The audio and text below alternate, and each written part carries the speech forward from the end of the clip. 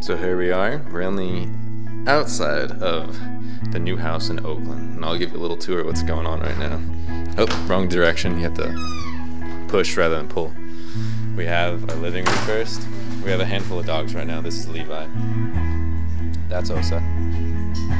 That's Brandon Talbot, dad to these. There goes Karen. This this dog guarding Andy Garcia is Cadbury. So right now, my roommate, which is her bedroom, she's about to cut all her hair off, and let's go check out and see what dinner is going. The ladies. Hello, Levi. Oh, so bedroom. It's a little dark right now. Here we go. This is our closet. Yeah, it's kind of ridiculous, but you know, bed. We'll go up the stairs. Those are tables. Um, still moving. Here's a handful of stuff going on. Got a movable wall.